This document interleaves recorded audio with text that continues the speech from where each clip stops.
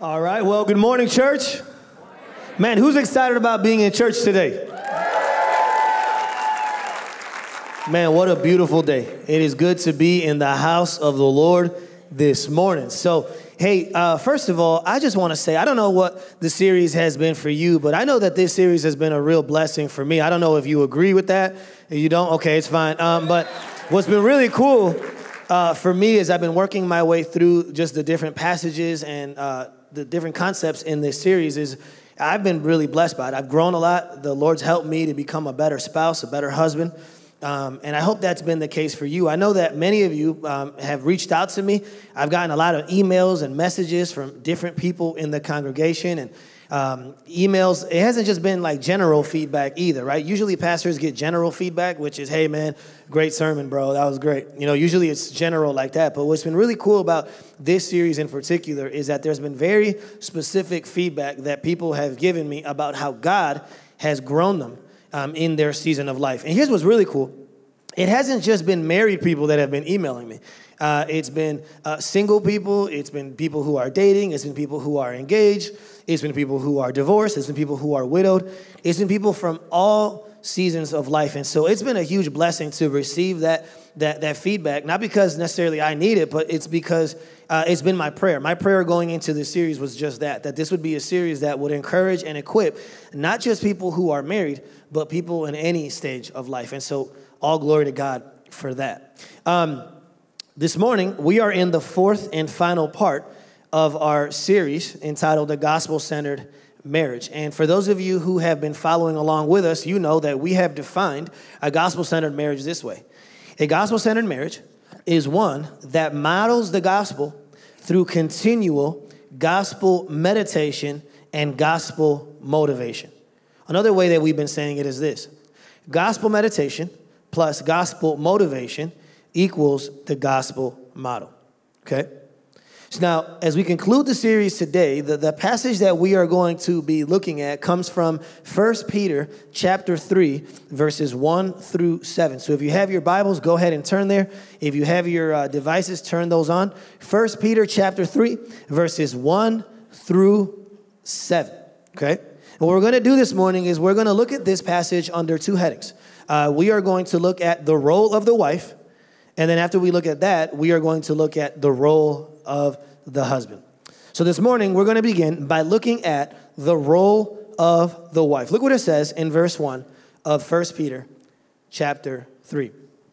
He says, Likewise, wives, be subject to your own husbands so that even if some do not obey the word, they may be won without a word by the conduct of their wives when they see your respectful and pure conduct. Do not let your adoring, adorning be external, the braiding of hair and the putting on of gold jewelry or the clothing you wear. But let your adorning be the hidden person of the heart with the imperishable beauty of a gentle and quiet spirit, which in God's sight is very precious. Let's go ahead and say that part together. Ready? Which in God's sight is very precious. Not that it necessarily matters, it's just I want to make sure you're with me. Okay, that, that's a, a random part of the verse. But, anyways, uh, verse 5 For this is how the holy women who hoped in God used to adorn themselves by submitting to their own husbands as Sarah obeyed Abraham, calling him Lord, and you are her children, and if you do good and do not fear that anything that is frightening. It's the word of the Lord. So, we're starting this message by looking at the role of the wife. The role of the wife. And when you look at this passage, what we see is that there are three things or three parts to this role that a woman is to play. Now, if you noticed at the beginning of the verse, he brought up the idea of submission again, which is what we talked about last week. So this week, I'm not really gonna get into the whole submission thing. We already talked about that. So if you wanna know what I mean by that, or if you're getting offended by that, uh, hold your offense. Uh, go back and listen to that message and then come back and then re listen to this one, okay? So we're not gonna get into that again, but he brings up the idea of submission again. And then essentially what he says is that there are three things that a woman needs to know in order to be a godly wife.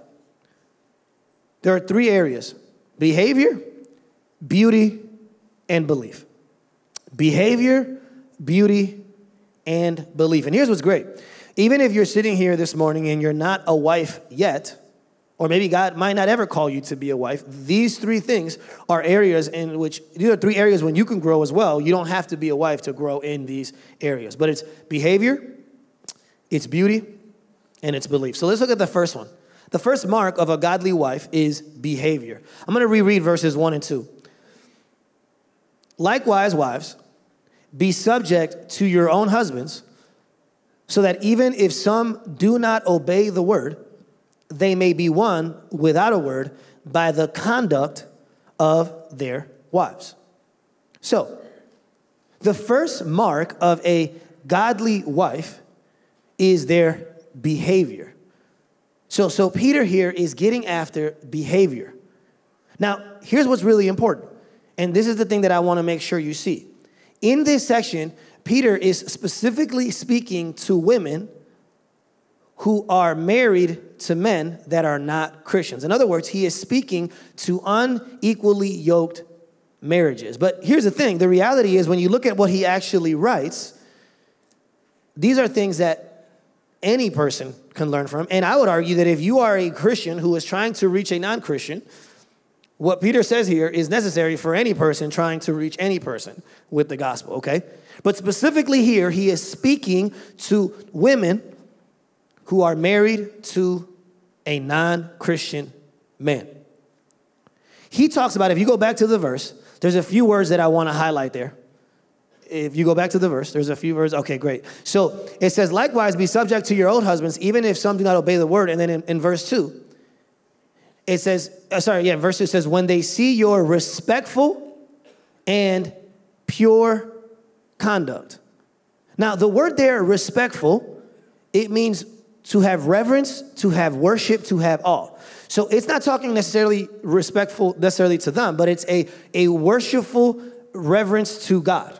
That's what the word there respectful means. And then the word there pure, it means holy, it means blameless, it means without blemish. So he's talking specifically to women who are married to non Christian men, and he says, listen, you need to focus more on your actions than on your arguments. You need to focus more on your conduct than on your content. In other words, Peter says a, a behaving wife is better than a badgering wife. So if, if you're a wife that leaves gospel tracts under your husband's pillows, or, or you preset their, their Christian radio station in their car so when it turns on, they're listening to some sort of Christian radio station. Or, or at dinner, you're praying awkwardly for their salvation in front of the kids. Or you manipulate them some way or somehow to get them to church. He's saying that a better way is actually to live out your faith. And that as you live out your faith, they will see. It says, when they see. The, the word there, see, is actually interesting because it, it's not just to casually glance at something. The word there, see, it means to scrutinize, it means to carefully observe. In other words, he's saying that a, a husband, a non Christian husband, is watching their Christian wife. He is carefully scrutinizing. But, but, but if you notice, though, the word see doesn't have to do with what he hears, it has to do with what he sees. So it has to do with your actions, not your arguments. It has to do with your actions, not your apologetics. Now, here's the thing what Peter's not saying is that at some point you don't share your faith. At some point, you need to share. But he's saying that the primary, most effective way to impact that unsaving spouse, and this is true even if you're a man married to a non Christian woman, is to live it out. Is to live it out. One of the people that I didn't know actually this week until I was, I didn't know about this until this week when I was reading it was uh, St. Augustine, the, the famous church father. Uh, in his book Confessions, he actually writes about the relationship between his mom and his dad. And his mom was a believer, and his dad was an unbeliever. And look what he says he says, She served her husband as her master and did all she could to win him for you, talking about God. Speaking to him of you by her conduct, by which you made her beautiful.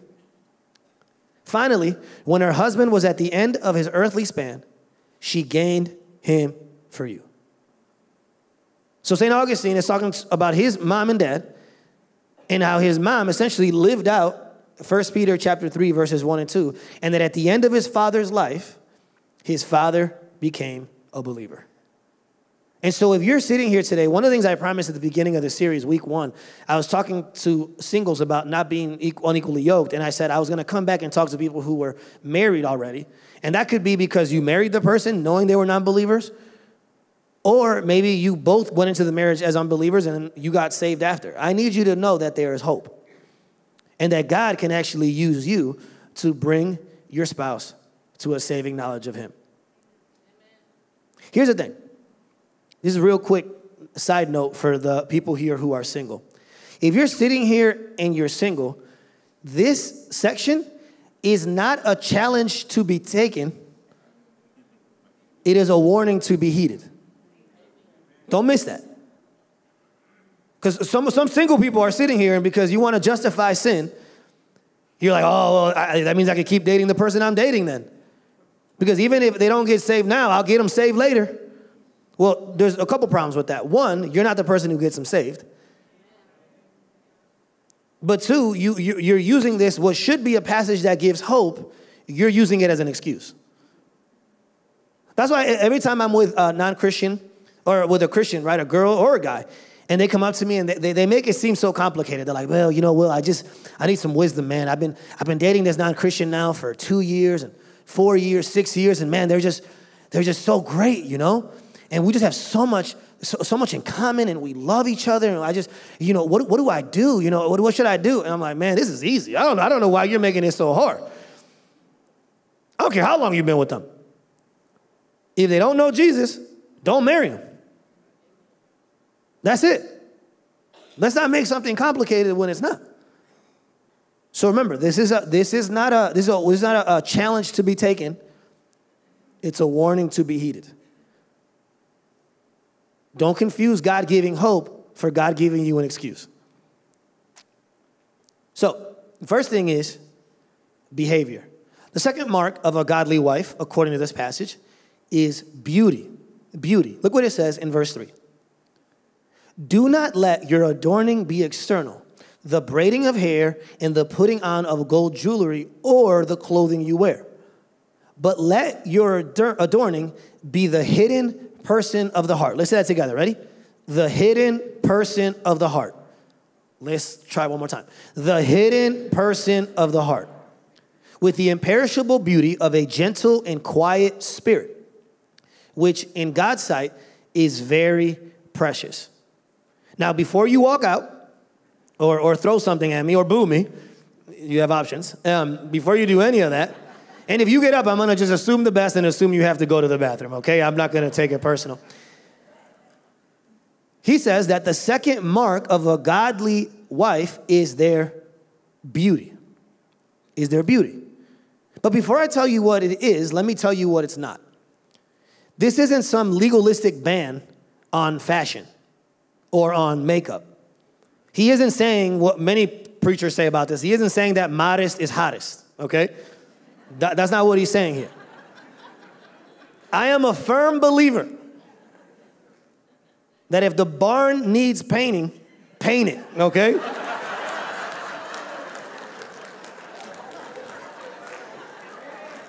Amen, brother. Start painting it up. Okay? So, he doesn't mean that then. What, what, what he means is, get this, he's not saying there's anything wrong with makeup. He's not saying there's anything wrong with jewelry. He's not saying anything wrong with, with fashion. What he's saying is, is that your primary hope and security should not come from your external appearance. It should come from your internal beauty. Does that make sense? What are you focusing on? Now, here's the thing some of you, women here in the house, married or not married, you might be sitting here saying amen right now. But, but here's the thing Here's what you understand. I, I, I want to ask you some questions here to, to help you diagnose this situation in your life. Before you agree with me, here's some questions. The first question is this What is your definition of beauty?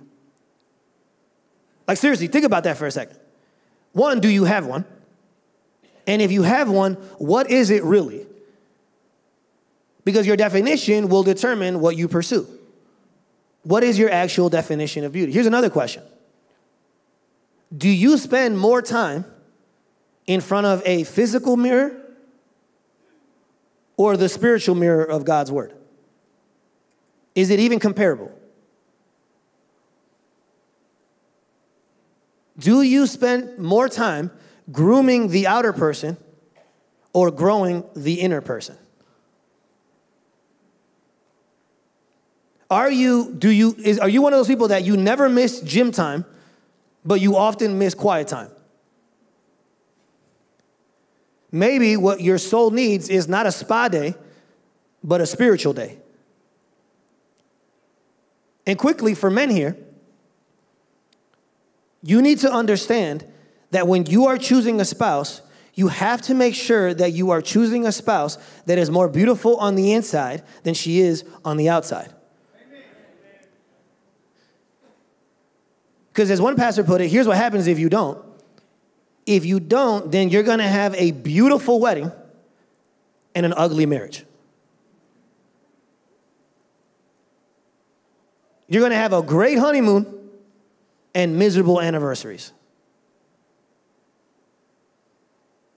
Make a decision based on beauty that is unfading and imperishable.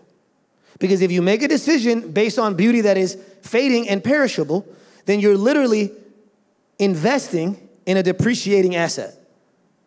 It will only go down over time. Okay? So that's what it's not. So, what is it then? If, if that's what it's not, then what type of beauty are we to pursue? What type of beauty are does does God does Peter through the inspiration of the Holy Spirit want women to display? Well, he describes it with two words. If you go back to the passage, he describes the type of beauty that, that women need to display as gentle and quiet. Now again, before you walk out, let me explain what I mean. The word gentle is actually a fruit of the Spirit. So it's not just for, for women, it is for Christians. But he says, a gentle and quiet spirit is what is truly beautiful and precious in the eyes of God. So let's unpack these two words because I think that understanding these words will give you an idea of what is actually being asked here. So, gentle there, it means someone who is not selfish or self assertive. It, the way that one uh, person put it that I think was super helpful is to be gentle means to have power under control. So to be gentle means doesn't mean you don't have power. It means that you have power that is under control. That's what the word gentle means. And then the word quiet, it means peaceful. It means to be calm it literally means to be undisturbed. And in the Greek, there, the, the mental picture is of a lake at the beginning of a mo- an early morning that hasn't been disturbed at all. It's just sitting there undisturbed. So, so the word there, the words gentle and quiet can seem very old school and traditional, like, hey, go, go in the kitchen and don't talk. That's not what he's saying. If the word gentle there means to have power under control. It means not to be selfish or self assertive. And the word peace there means, uh, the word quiet there means to be peaceful, to be undisturbed. Then, then essentially what he's saying is that true beauty looks different than what the world says beauty is.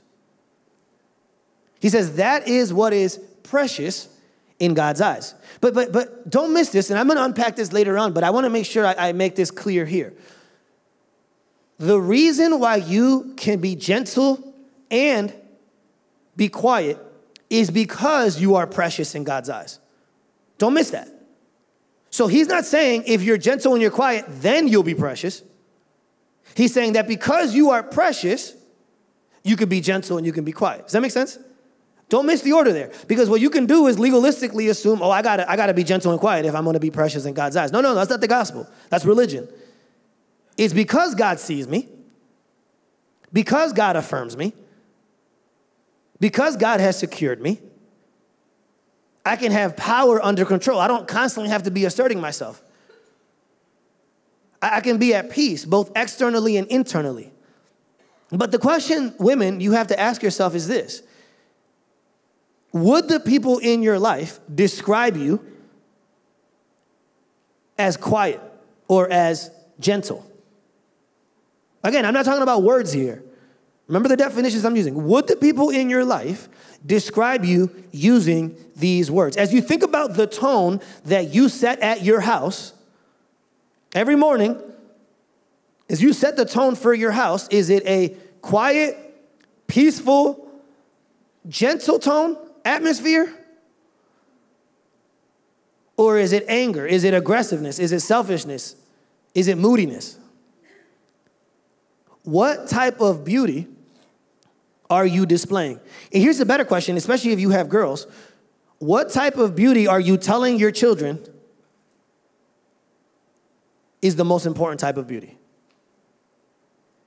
Do they see mom in front of the mirror more than they see mom in front of the word? That's the question you have to ask yourself. Because I would argue, and I'm already being controversial, so I might as well keep it going. I would argue that when, Christ, when, when, when, when, when teenagers go to college and they walk away from the Lord, I would argue that really they left a long time ago because they were seeing it at home.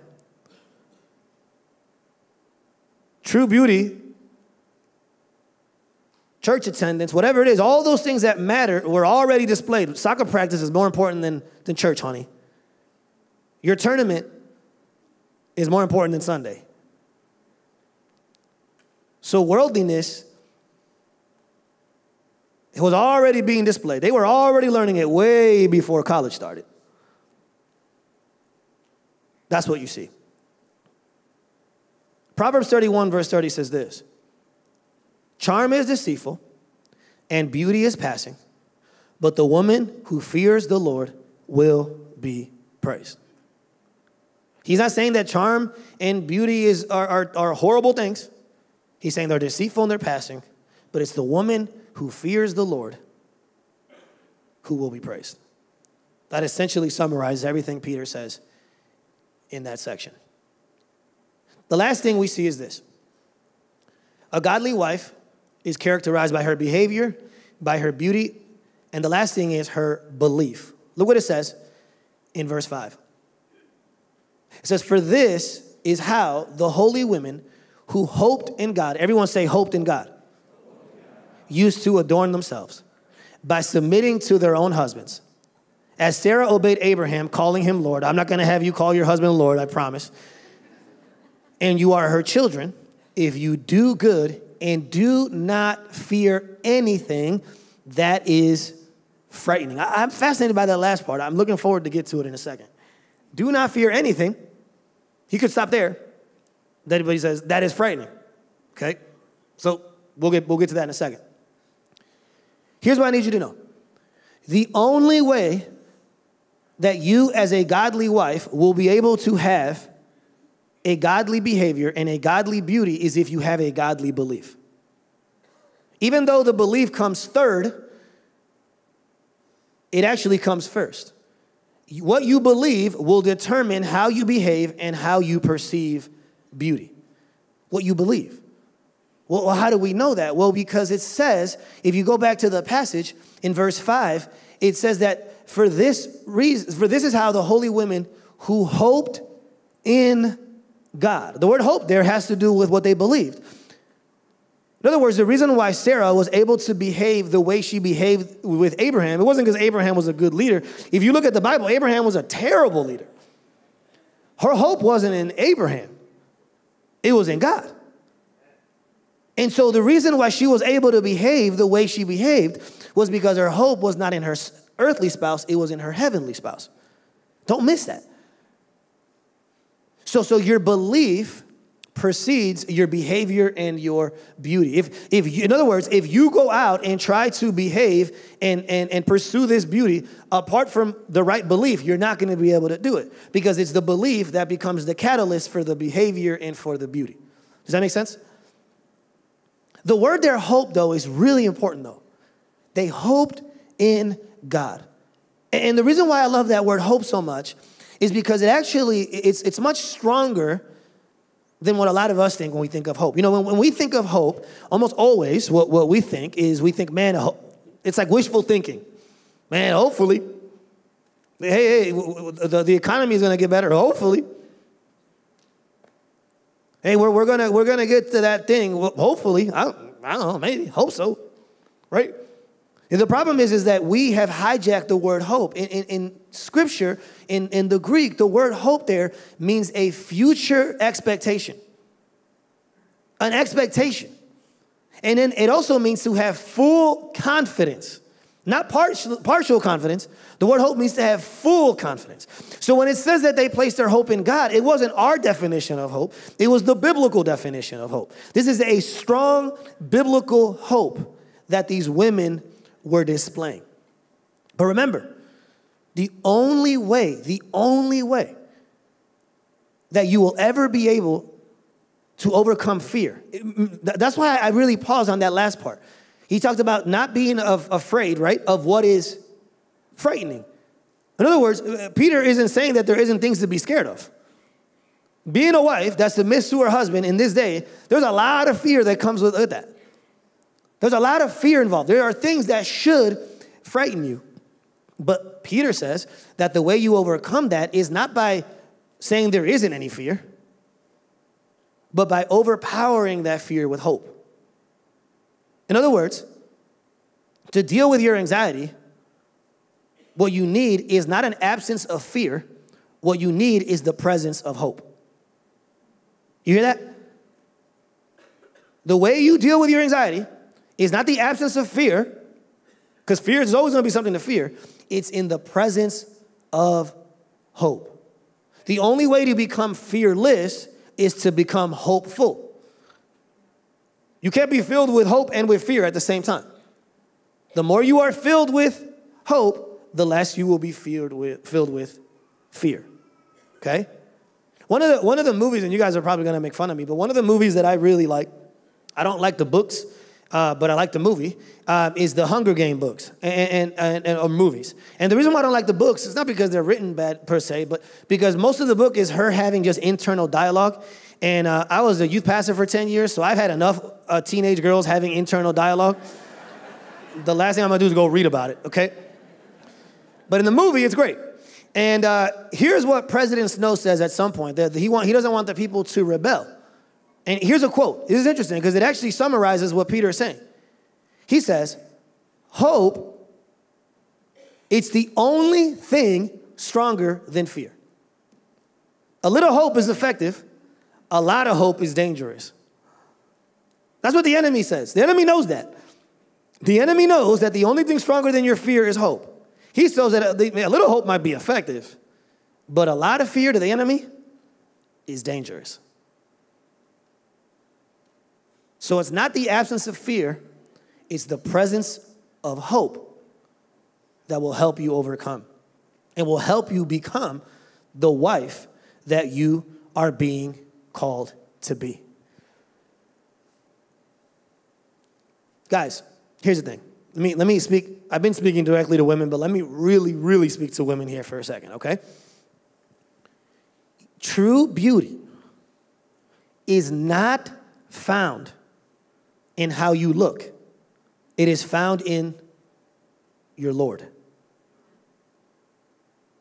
True beauty is not found in your cosmetics, it's found in your Creator. True beauty is not found in your earthly spouse, it's found in your heavenly spouse. True beauty is not found in your outer person, it's found in your inner position.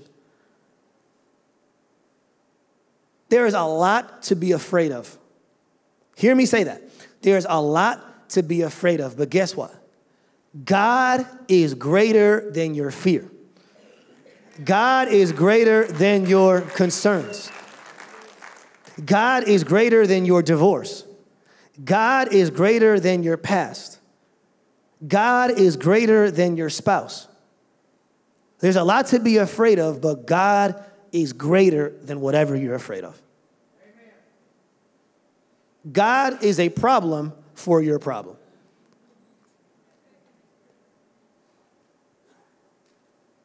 Listen, there, there are women here, and, and everyone's different, right? So, so you, you might be in a different situation. You might have a different spouse. You might have different struggles. You might be in a different season. But guess what? Your Savior is the same yesterday, today, and tomorrow. You know, one of the one of the things that really stands out to me in this text is that, like I said earlier, it almost seems like you have to be beautiful in order for God to find you beautiful.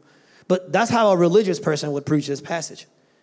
In other words, God doesn't, it is not, it's not that God found you beautiful and then he loved you. It's no, he loved you in order to make you beautiful. It's not that God found you lovely and then made you lovely. No, no, it's that he, he loved you in order to make you lovely. It's not that he saw you as pretty and then made you, no, no, it is that he, he, he loved you in order to make you pretty. When you, when you mess up the order, it becomes about you and not about him. This passage is not ultimately about wives. It's about the ultimate spouse, which is Jesus loving you at the cross. And when you flip it, you make it about you and not about him. You know, one of my favorite stories um, that, that, that uh, I've heard, or illustrations, if you will, comes from Pastor Matt Chandler. And Pastor Matt Chandler is a pastor in Texas, and he said that he was at this conference once. And uh, at the conference, it was a youth conference, and there was this old school uh, religious hell and brimstone pastor preaching. And he started a sermon by passing out a rose. And he, the rose started on one side of the room, and as he was preaching, he asked people to pass the rose along. Keep passing the rose along. Keep passing the rose along. And the whole sermon was about purity and about being beautiful in God's eyes. And at the end of the sermon, he asked for the rose back, and they give him the rose, and the rose is just battered because it's been passed around through all these teenagers. And the guy gets up and he goes, You know, look at this rose. How can God ever love a rose this ugly?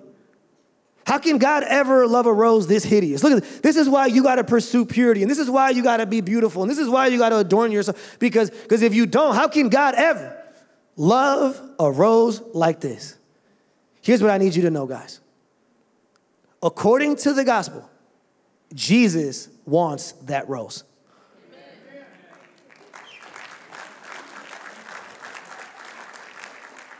Jesus loves the rose.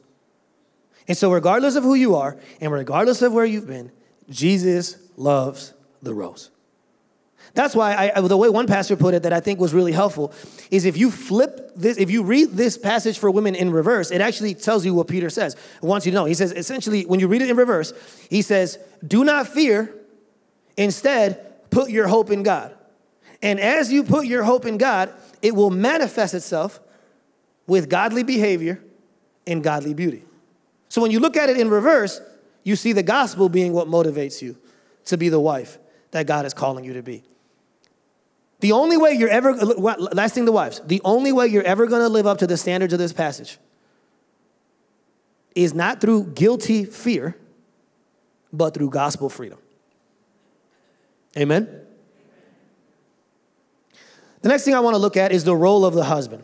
Look what it says in verse 7. Likewise, husbands, live with your wives in an understanding way, showing honor to the woman as the weaker vessel, since they are heirs with you of the grace of life, so that your prayers may not be hindered. Now, I know what women are thinking. You're thinking, how do I get six verses?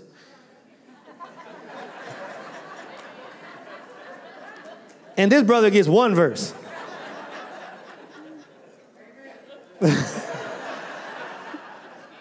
Here's why. The reason why Peter t- spends more time writing to women than to men is not because he thought women had more problems, but it's because in those days, there was not a lot written about women.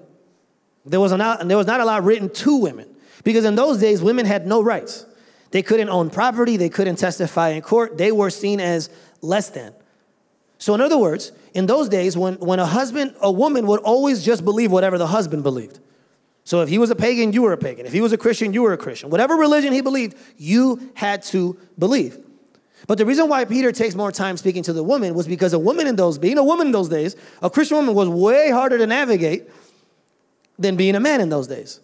So it's not because women are worse, but it's because it was harder for a woman to navigate the culture that they were in. Does that make sense?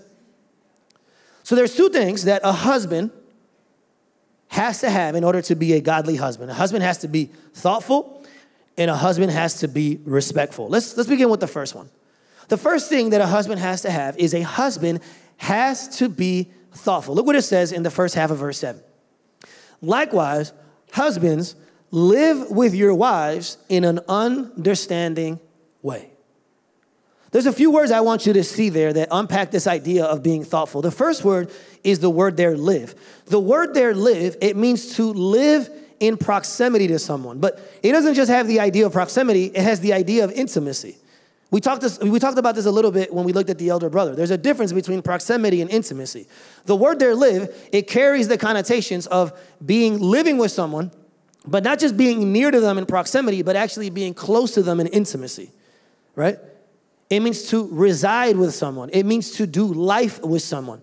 Then the other word I want you to see that is really important, which is where I get the idea of being thoughtful, is the word understanding. The word understanding there, it means to have a deep knowledge of something. It means to be acquainted with something. It means to be fully aware of and comprehending something. So, what he's saying is that husbands are to be thoughtful. In other words, what Peter is arguing is that being a good husband doesn't happen by accident.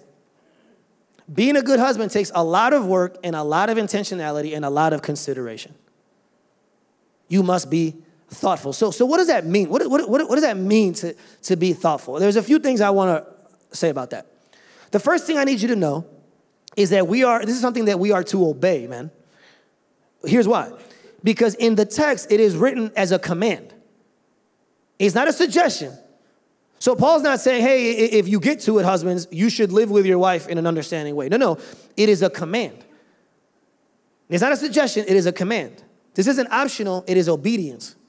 So when you don't do it, let me make this crystal clear. When you don't do this, not only are you sinning against your wife, you are sinning against God because it is a command. Okay? Something that we must obey. But the other thing that this means is that we must observe. We must be people who observe. And, and here's what I mean. Essentially, what he is saying here is that we as husbands have to be lifelong students of our wives. We must be constantly asking questions, doing research, downloading software updates. You know how you need a software update on your phone? You need software updates with your wife. The app needs updating. Why? Because your wife changes. The woman you married 20 years ago is different from the woman that you're married to today. And one of the things that men do is, man, honey, I know you so well. And then you ask them some, some evidence and they bring up something that you brought up when you were dating. Remember how you really like fries?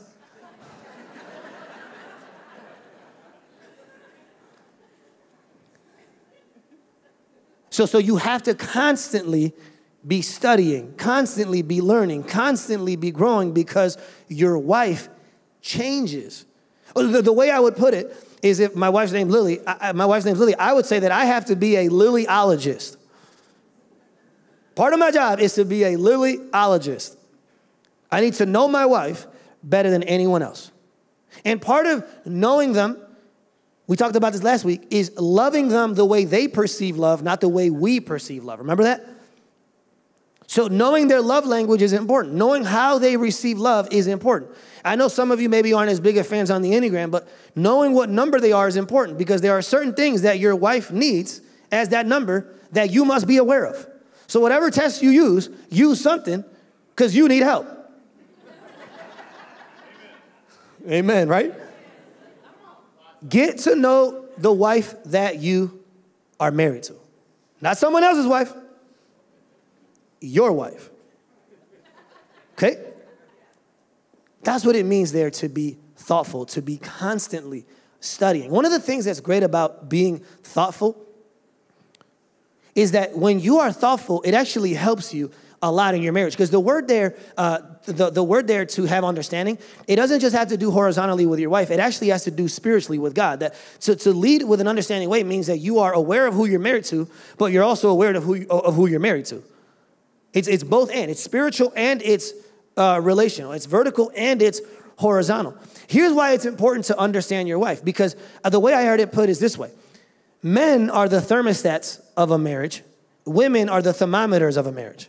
So here's what I mean the person who sets the spiritual tone and temperature in a marriage is the husband.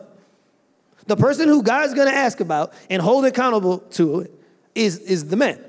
What spiritual temperature did you set your household at? But women, they're not the thermostats, but they are great thermometers. A wife will let you know what your temperature is. Not the temperature you think it is, but the temperature it actually is. Okay? Here's another thing that's really important about that idea of being thoughtful that when done correctly, when you are considering your wife, when you are studying your wife, when you are becoming acquainted with your wife, it keeps you from being back to back. And here's what I mean I came across this concept in a book uh, maybe about a month ago as I was preparing for this series. He says that there are three types of marriages there are the face to face marriages, there are the shoulder to shoulder marriages, and there's the back to back marriages. He says that most of our time, if we're going to be a healthy marriage, should be face to face. Now, there's going to be times where you're shoulder to shoulder and you're working on something like parenting, career, whatever, right? But he says what happens is you begin marriage with being face to face, and then children show up and life happens, and then all you do is do life shoulder to shoulder. The problem is that if you do shoulder to shoulder long enough and you don't go back to face to face, when the kids leave, you're back to back.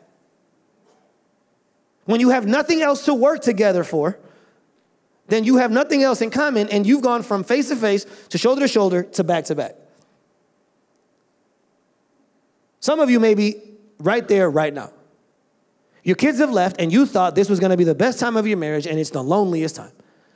Because you spent so much time shoulder to shoulder instead of face to face that now you've ended up back to back.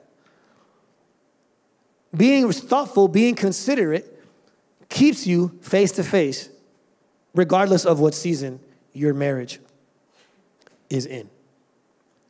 That's what it means. And that's why it is so important.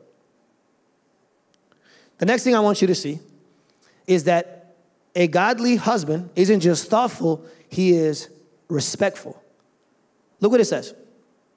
Verse 7. Likewise, live with your wives in an understanding way, showing honor, that's where I get the word respect, showing honor to the woman as the weaker vessel. And then let me continue reading it. Um, I'll go to the next part. It says, Since they, they are heirs with you of the grace of life, so that your prayers may not be hindered. But it says that we are to honor them as the weaker vessel. The word there, honor, it means to pay respects to someone. It means to ascribe worth to someone. It means to see something as precious and as valuable. So the word there, honor means, that's where I get the word respect from, to be respectful. And the word weaker vessel, here's what it means. All it means is that women usually, not always, but women usually are weaker physically than men. That's all it means. It doesn't mean that women are weaker spiritually or emotionally or relationally or morally or spiritually. All it means is that by and large, if there's an arm wrestling contest, the man's gonna win. That's all it means. Okay?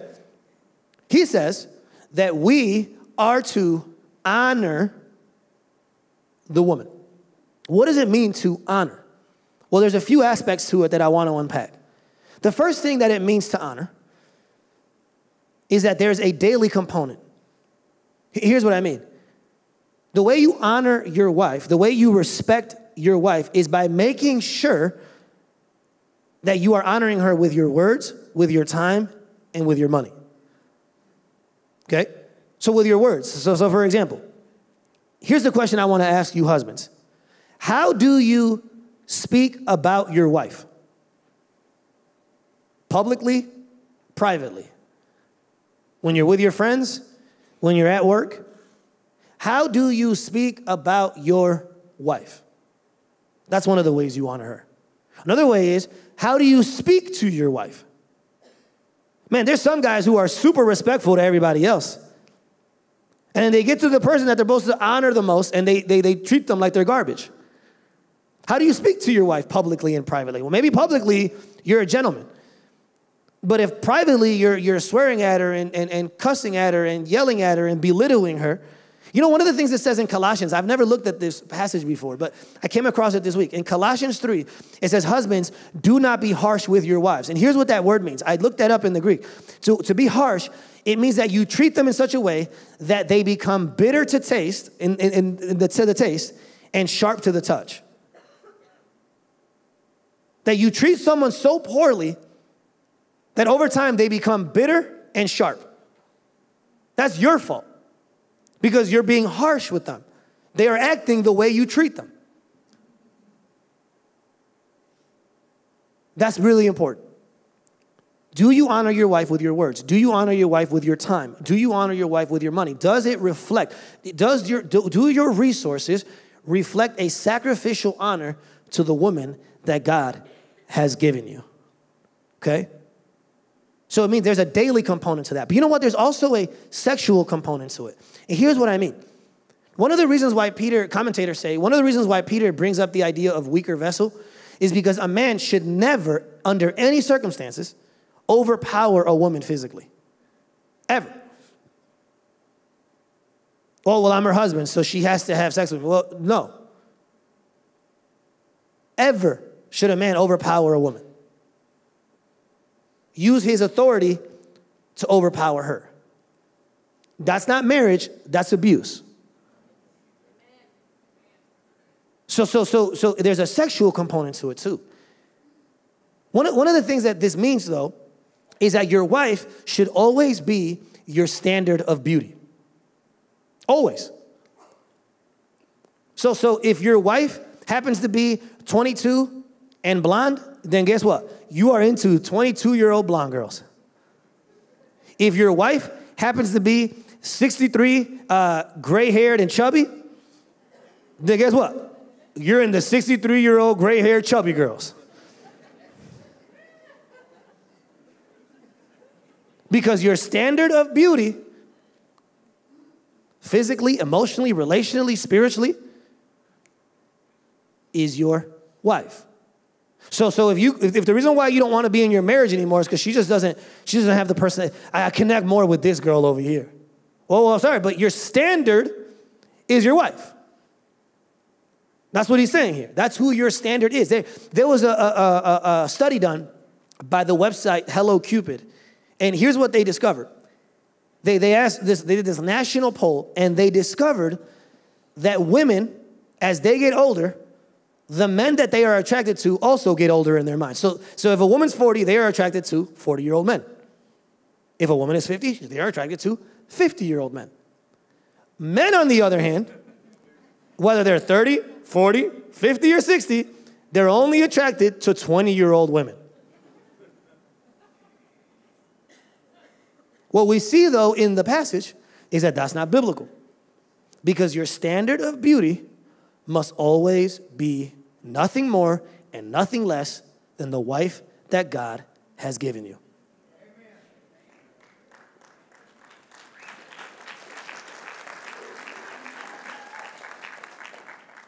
Single men, if you're sitting here today and you are single, you have yet to be married, I want, you, I want to ask you a question.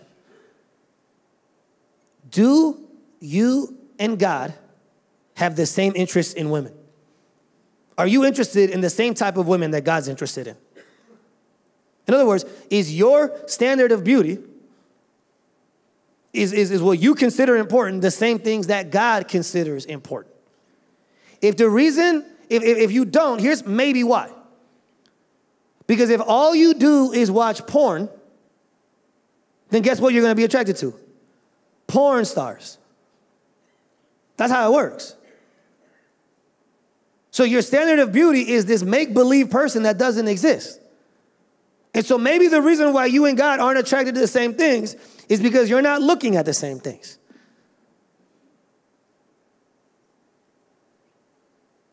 You got to ask yourself, am I pursuing a godly wife or a pretty girlfriend? You have to make sure that what God is attracted to is what you're attracted to. It says in Samuel that God looks not at the outward appearance, but at the what? At the heart. So, what you should be praying through and asking God to reveal to you is Lord, help me to be attracted to the things that you're attracted to. An unfading beauty. Not an external fading beauty, but an unfading internal, imperishable beauty. So that's what it means to be a godly husband. You must be thoughtful, you must be respectful. Now, here's the thing. Man, I don't know about you, but one of the things that happened to me this week as I was prepping and, and you know, preparing is that there's another aspect to this that there's a, there's a spiritual component to being respectful. Here's why. It says that for the man who doesn't do those things, his prayers will be hindered. Now that's, that's funny, right? Because it's like, what, what does that mean? And why is God getting into my spiritual life if there's problems in my marital life? Well, what's the connection between the two? Well, think about it. Let me put it to you like this. If I am in a fight with my wife, or I'm being disrespectful to my wife, the last person I'm gonna call to talk to about it is my father in law. Hey, man, so I'm treating your daughter like crap. You wanna talk about it? It says in the passage that women are heirs with you of the grace of life. So that means that they are your sister before they are your spouse. So what that means is they are his daughter before they are your spouse. So when you are interacting with the spouse that God has given you, you better understand that that is his daughter, and one day he's gonna hold you accountable for how you treated his daughter. And so the reason why your prayers are hindered, and the word there hindered is super is really interesting. It means to to intentionally impose or impede on someone's progress. So it means that you had a, a direct line to God, and all of a sudden the, the wires are crossed and the connection's broken. Why? Because when, when you're messing with the daughter, the last person you want to talk to is the father. And to be honest, let's be honest, it's not just that God won't listen as much, but it's that you don't even pray as hard when you know there's something wrong with your wife. You don't, you don't ask for big things because you know there's an issue in the house. So your prayers are hindered on your end, not just on God's end. Because you're not praying as boldly because you know you've been a poor husband. But here's the thing. As I look at this passage, one of the things that, uh, and, and, on the one hand, kind of made me feel bad, but then at, at the other hand, encouraged me. Here's what made me feel bad. When I looked at that, it said that it's only when a husband does those things, when they are thoughtful and respectful, that their prayers will not be hindered. Man, but if that's the case, I'm not that great of a husband. I don't it says, I don't, I don't, know about you, husband. Maybe, maybe you haven't figured out I don't. I don't consistently do the things that are in this passage. And so eh, the way I read it when I first read it was, man, that means my prayers are never going to be heard. Because I'm never the, the, the, the person that God's describing in verse 7. Rarely do I live up to the standards. Once a month, maybe? And so if, if the only way my prayers are going to be heard is when I am consistently being thoughtful and respectful, then I'm in huge trouble then. But here's why there's good news, guys. To the husbands here in the room, here's why there's good news. Listen, the reason why there's good news is because the Bible tells us about another spouse. The Bible tells us about another husband. And unlike us, when he came down, he was thoughtful all the way through. He was respectful from beginning to end. But what's crazy about scripture is that even though his prayers never deserved to be unhindered or blocked, in the moment where he needed the Father the most, his prayers were unanswered. Why? Well, God chose not to answer the perfect husband's prayers so that one day he might be able to answer the imperfect husband's prayers. That's why. One of the things that I came across back when we did the Christmas series was in Isaiah chapter 9, verse 7. It says that a husband it talks about Jesus coming down to earth. And it says that the reason why Jesus does it, I didn't talk about it back then because the word didn't really fit where I was going in the sermon. But, but it says that the zeal of the Lord will do this. In other words, the reason why Christmas happens is because of the zeal of the Lord. But the word there, zeal, has to do with a jealous lover's love, a husband coming after their wife. Jesus came after us. So the reason why we can go after them is because Jesus first came after us. Knowing that Jesus is the ultimate spouse of your wife shouldn't make you jealous, it should make you zealous. It should make you want to love her. It should make you want to pursue her. It should make you want to honor her. That's what it means. Once you understand that, then you realize you don't have to be her savior, you just, you just have to be her spouse. You don't have to be her hope, you just have to be her husband. Because Jesus is those things for her. So, as we conclude this morning, here's what I want to say. Hopefully, through this series, you've seen that I've talked to both two groups of people essentially. In this room, there's two groups of people. There are the non-marrieds and there's the marrieds. So the people who are non-married, here's what I'm gonna say to you. Hopefully by now you know what to look for in a spouse. I'm not talking about physical characteristics, color of skin, age demographic. Hopefully by now you know what a spiritual spouse looks like. Here's the thing there's two types of shoppers there's impulsive shoppers and there's focused shoppers. I've been both. An impulsive shopper is a person who goes out to shop in order to make themselves feel better. That's how a lot of people date. But once you understand what God is expecting and what God is telling you to look for, now you can be a focused shopper. And doing that doesn't make you picky, it makes you holy. Okay? As you go out now, as you look for who God wants for you, here's the, here's the thing. Remember what I said soulmates are not biblical. If that's true, then here's what this means it means that if that there's actually a huge pool of people for you to choose from. It's not just it's not like, it's not like finding a needle in a haystack because soulmates are not a thing. True biblical marriage is not about being compatible, it's about being committed. I, this is gonna sound crazy, but I wholeheartedly believe that there is probably men in the world who are more compatible to my wife than I am. But guess what? I'm the one I'm, she's committed to. Because if you go the compatible argument, then the moment they no longer feel compatible, you walk away. It's not about being compatible, it's about being committed.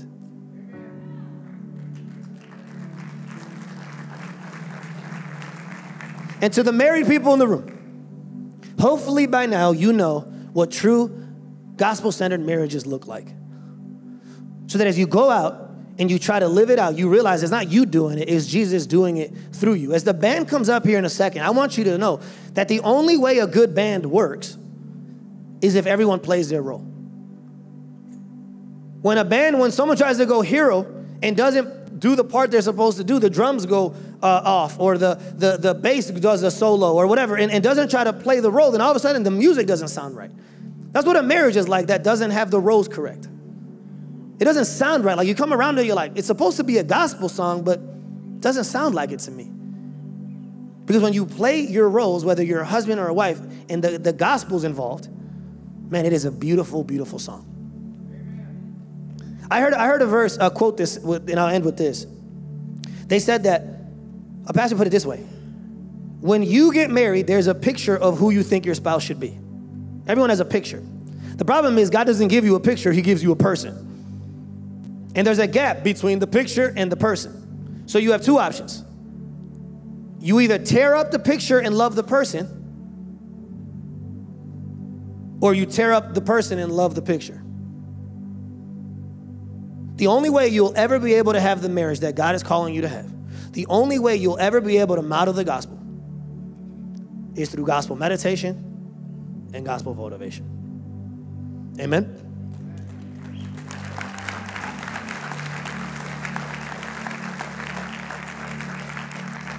Let's go ahead and bow our heads. Listen, if you're sitting here today and you're a married couple and you're thinking, you know what, I think that we must take a step as a result of this series. Maybe your step is to come to our marriage conference that's happening here on Saturday, the Beyond Marriage Conference. Or maybe it's for you to go to a ministry program like Reengage where you can go and find help for your marriage. But maybe you're sitting here as an individual and you're realizing, no, I actually need something deeper than that. I actually need to know who Jesus is. I don't actually know who he is. I can't model the gospel if I don't have a gospel relationship with the ultimate spouse. Maybe today, the step that you have to take is you have to believe in Jesus. I pray that today would be that day. That today would be the day that you place your faith in him and you say, I no longer want to live for myself. I no longer want to live for my spouse. I want to live for my heavenly spouse who gave himself up for me. If that's you, I would love for you to take a card that's in front of you, fill it out, let us know so that we can meet you, pray with you, and help you take this next step. And maybe for you, your step is to get baptized. Maybe you are called to be baptized. It's called to take a step. Maybe you know Jesus already, but you want your spouse to know. You want the world to know. You want the church to know. Like we looked at that baptism today. Maybe to, to, today, your step is to be baptized. Regardless of what your step is, I pray that you would take one, that you would not leave today without taking a step. Amen and amen.